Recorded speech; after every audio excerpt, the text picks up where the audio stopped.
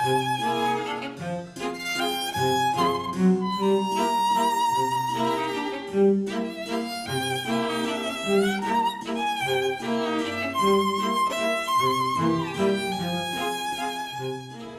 bucur când văd compania Dacia că vinde multe mașini.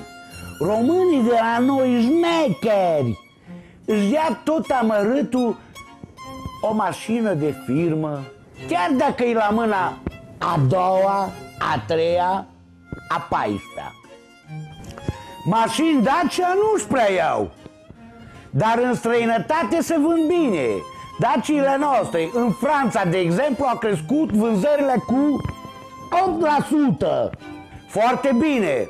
Să mai ia și ei mașini de la noi. La câte mașini am luat noi de la ei. Uh -uh. Doar că noi n-am dat bani pe ele, înțelegeți voi. Știți voi, profesioniștii. Îți. Vă salută Nelson Mondialu! Ne vedem săptămâna următoare, viitoare.